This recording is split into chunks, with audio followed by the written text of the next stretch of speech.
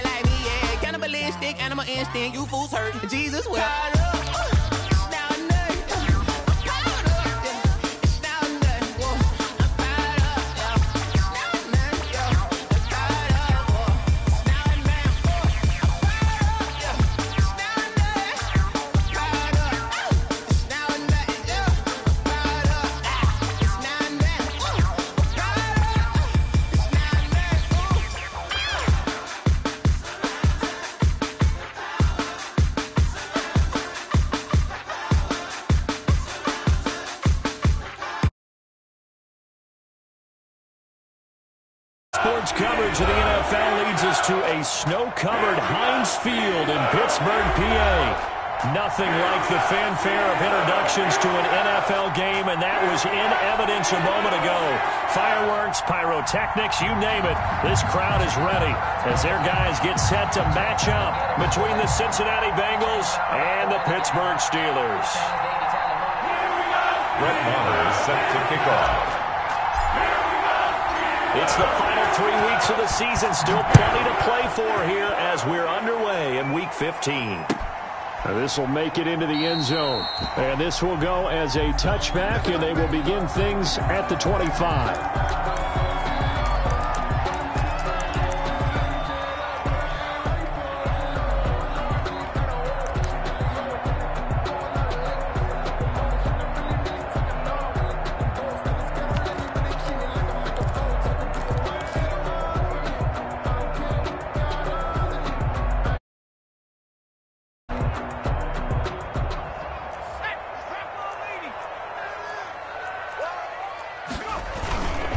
Here's the first carry for Ezekiel Elliott. And he's upended after a gain of two out to the 27. Defensively here, you're facing a top five team in terms of points scored in the NFL. So when they're that high power, you've got to find a way to hold them under 20. Because to me, that's the magic number. 20 points scored gives yourself you give yourself your best chance to win. So if they're up around 24, 28, 30, they could be in some trouble. I think so because then you turn into a shootout, and that means your offense has to keep pace. And he'll get about three here as he's out to the 30. I think that's the type of run we'll continue to see throughout this game. The snow coming down, I don't expect a lot of big plays to be broken.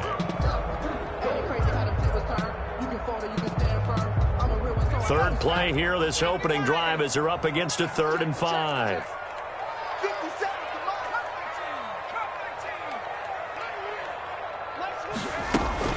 Off the play fake, here's Hurts quickly here, and that's complete. And he is going to get the first down as he covers up after a pretty good shot there. It goes as a gain of eight, and it moves the chains. First and 10 at the 37-yard line. Line of scrimmage, the 37 on first and 10. Throwing from the gun, it's Hurts. They'll find Juju Smith-Schuster. And he'll be taken down, but not before he gets into enemy territory. The Steelers picking up 15 yards there at a first down. First and 10, and they've got three tight ends out there. A jumbo package look. A first down carry by Elliott. Seven yards on the pickup there, and it'll leave him with a second and three. Another good carry there for the NFL's second leading rusher, and we've talked on air, off air about his MVP candidacy. Make a case for him. Well, I'm just going to tell you point blank, it doesn't matter whether he's first or second or even third in the league in rushing yardage. That's not the main deal. It's how he gets those yards and the impact he has on his ball club. That one good for a first down pickup of 18 yards. Normally you see three tight ends in a formation, you have to think to yourself, this has got to be a run, and I know as a safety, when I saw that, I took an extra step or two towards the line of scrimmage. Instead, they threw the ball, and he found one of those tight ends for a very nice pickup. On first down, Elliott. Give him five on the carry there, and it'll be second down. A quick burst there, and he nicely bit off a pretty decent gain. It's a gain of five. Brings up second and five. After the pickup of five, here's second and five.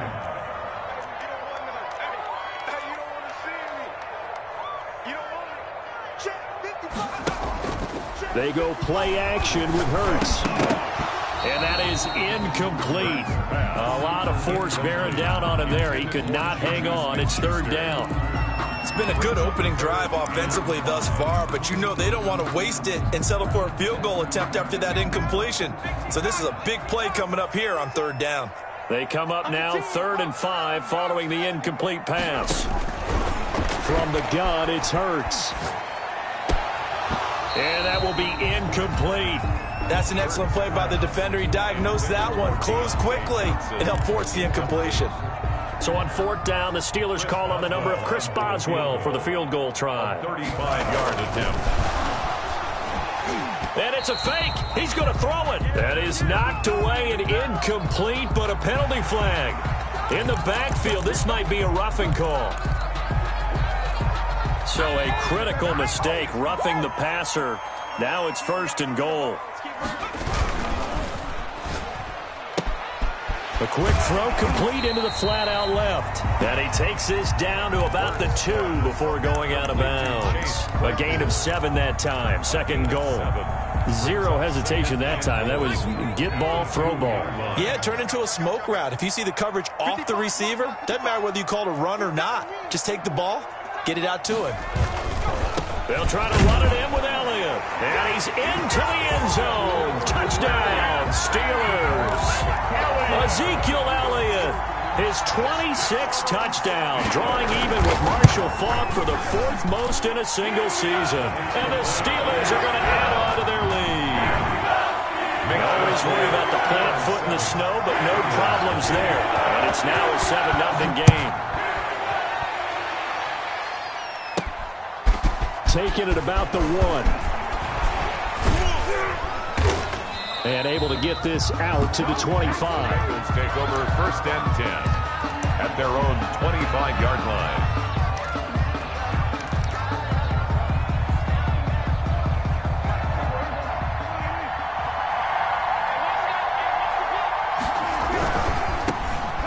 First carry for the former Oklahoma Sooner, Joe Mixon. And from the 25, they work this to the 29, a gain of four. He's tackled. Call it a gain of four on first, and that'll make it second down. On the pickup. Second and six.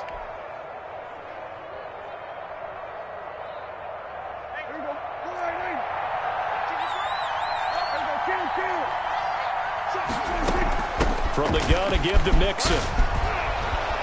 And down he goes, but he takes it up to the 40. 11 yards there, first down. Now, look, that wasn't a huge gain, but those are the types of carries I think they were missing in their loss last week. They couldn't get him going on the ground. Did you get the same feeling I did during our meetings that they kind of regretted that he didn't touch the ball? Absolutely. You know, hey, he should have touched it more last week. They weren't going to make that same mistake, and they've taken care of that early. Second and two. At their Facing a second and two after that last catch, good for eight yards.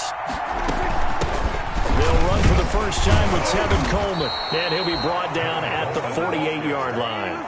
Four yards the pickup, first down. Second and two is prime time for a little bit of a gamble, isn't it? Open up the playbook, go play action, toss that bad boy deep. But in this situation, go ahead and give it to your back. Let him pick up a first down. Keep the sticks moving. They keep it on the ground. This time it's Mixon. And he gets this inside the 35-yard line. They'll get 14 on that one. Good for a Bengal first down. You were telling me this yesterday. This is exactly what they want to do on the opening drive, establish the ground game. Yeah, remember our conversation? We were talking about what one of the GMs in the league has told me repeatedly. It's a big man's game, and it's not necessarily size. He's talking about playing some big boy football. Line up, get leverage, knock people back, and establish the run early. Oh, he'll let one go deep for Higgins. And that is incomplete. He couldn't hold on through the contact. Brings up second down. T. Higgins was the intended target. But it'll be second down. Second and 10 on a chilly, snowy December day. And I must say, I'm loving it. Kind of putting me in the holiday spirit. Charles, Charles hates it. Pressure comes, and the Steelers take him down. Melvin Ingram dropping the hammer off the edge. Oh, enough to start to have a good drive. Quite like a big loss on a sack, does it? Now, now they're looking at a third and long, and suddenly the momentum shifted to the other side of the football. And old Mo is a very, very fickle man.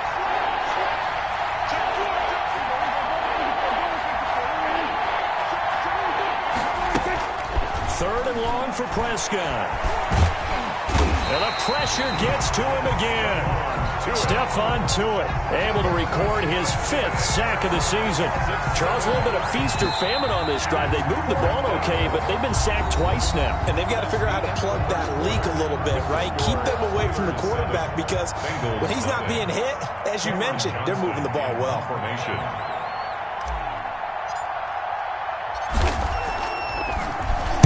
And just a single punt for him in the loss last week as he sends this one away. The Steelers take over first and 10 at their own 20-yard line.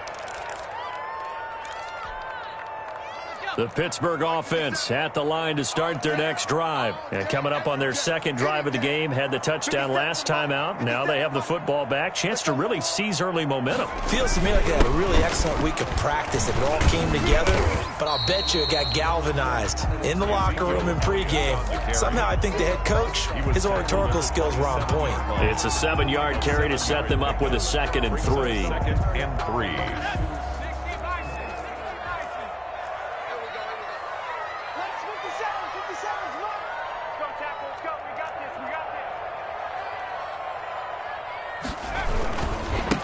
Here's Elliott.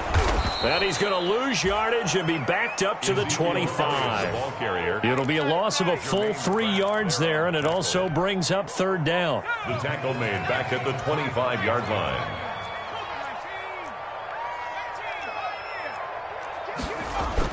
Here's Hurts to throw.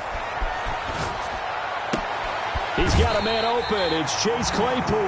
And he'll be out of bounds, but able to get it up past the 45. Give him 22 there on the third down conversion. First and 10 at the 47-yard line. They'll run on first down. It's Elliott. And this time they were ready for him as they'll stop him right at the line of scrimmage. Oh, by Logan Wilson. Call it no gain on the play, and it'll be second down. Brings up second and 10. Officially nothing on that last run. They'll try again second and 10. From the shotgun, a give to Elliott. And he'll work it across midfield inside the 45.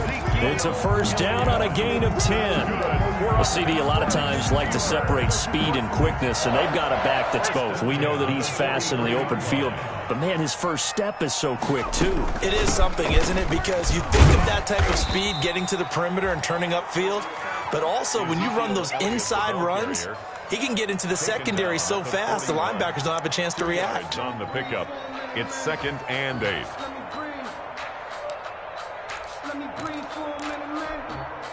The last run good for two. Here's second and eight. got you, boy. I got you, boy. Kill, kill, kill. Go get him. Let's go. 1918. Ready? Action. Action. Street. Street.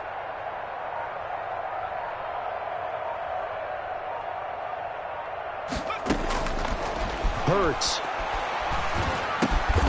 Completion here to Claypool. And he'll get it down on the play to the 37. Four yards on the completion, and it sets up a third down. Brandon, perfect defense in this situation would have meant that there was an incompletion. They would have picked it off. Okay, so they gave up the completion. But I really enjoyed watching how the defense stayed in sync, stayed in great communication, and as he dragged across each zone, you see him pointing, communicating. There he is, and they passed him off to each defender. Ended up making a nice play, even though it was complete. The pickup there, five yards. From the 32 now, here's first and 10. 32-yard line. Hurts sets up to throw it. Rush coming, and he's taken down. Kamalei Correa.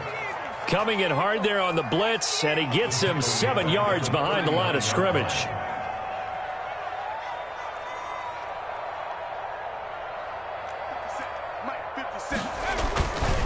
Second down. Here's Hurts. Open man completes it to Smith-Schuster.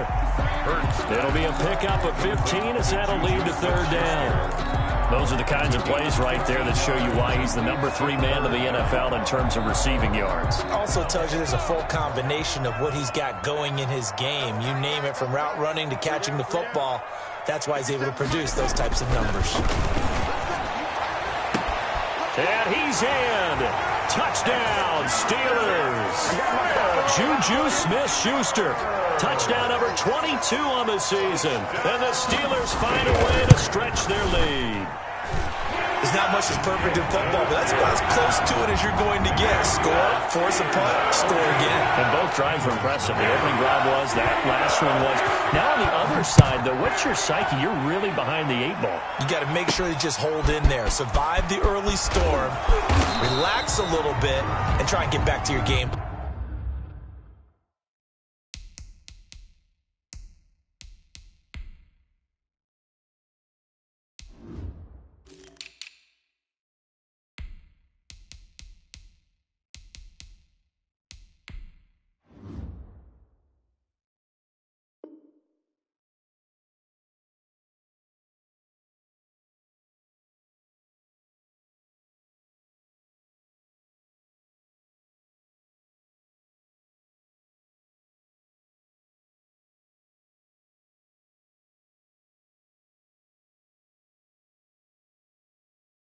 It's way too early for panic. Over first and 10 at their own 26-yard line.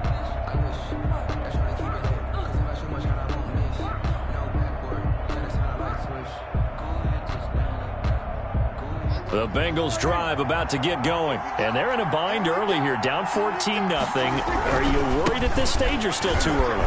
You're worried. You're just trying not to transmit it to the rest of your team. You want to make sure that they stay positive. But at the same time, you're wondering, how are we going to move the football? What do we have on this play sheet that can work? Get back to basics is usually your answer. And make sure you find the guy who can move the ball fastest for you if you just get it in his hands. Yeah, still second quarter. You get points on the board here. I think you're feeling okay. They'll break the huddle, come up on second and eight at the 27-yard line. Second quarter action with 159 remaining. And boy, that one drops incomplete, but if he was hit a fraction sooner, it may have been a fumble. A reminder, once we hit halftime, as we do all season, we'll send it down to Jonathan Coachman in Orlando. He'll have all the stats and scores from games in progress around the NFL. The best multitasker in the business, the coach. He's got his man, Boyd.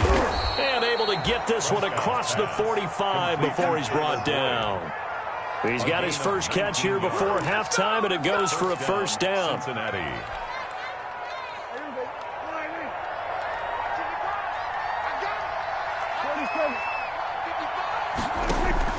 Play fake. Here's Prescott. On the right side, caught by Green.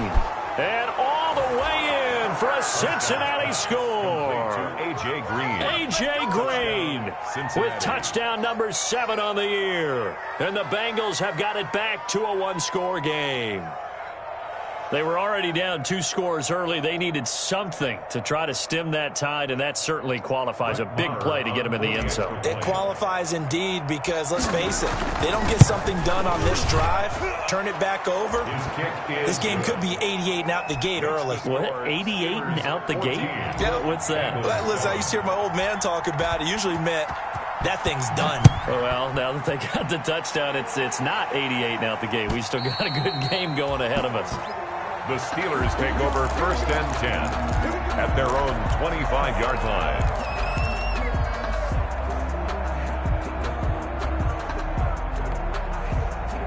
The Steeler offense here about ready for their next drive. And thus far, the weather has not slowed this offense down one bit. They've looked good so far in the first half. They certainly have. And think back to our meeting with the head coach. And we asked him because we saw the forecast for this game, didn't we? We said, hey, have you prepared for this? And he talked about the different drills that they've done in adverse conditions, the wet ball drills, things of that nature. He said, I don't think it's going to slow us down much. We tend to handle it pretty well, and he's been right. Dancing to his left. And that one goes incomplete. He's maybe lucky it wasn't a fumble as he got hit as he threw it. Well, you most certainly don't want to go three and out here and get the football right back because your friend, Old Momentum, he's wondering if he should change sidelines about right now. And if you don't convert here, guess what? He's going to make the trek to the opposite side, and all of a sudden, you've got a battle on your hands. And they work this well upfield across the 45.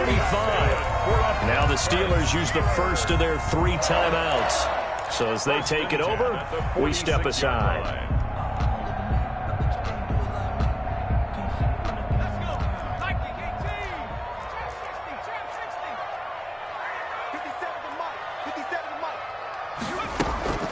Play action. Here's Hurts. Johnson with a reception. And taking it across midfield and inside the 45. Another connection between the two. This one good for 12 and a first down. First down. First and 10 at the 42. On first and 10, it's Hurts. Got an open man. It's Washington. Now the Steelers use the second of their three timeouts as they'll stop it with 27 seconds remaining here in the second quarter. 36-yard line.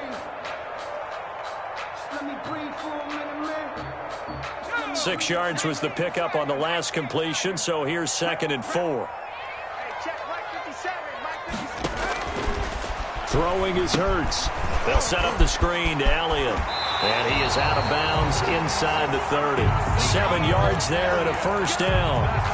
For a second there, I thought that might break big. Screen pass. Looked like it was coming together. Looked like there was an opening. Still, ended up with a solid game.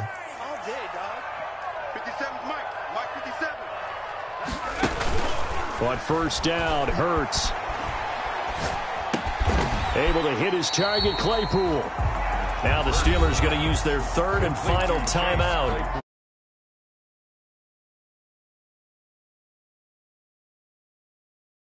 Three-yard line.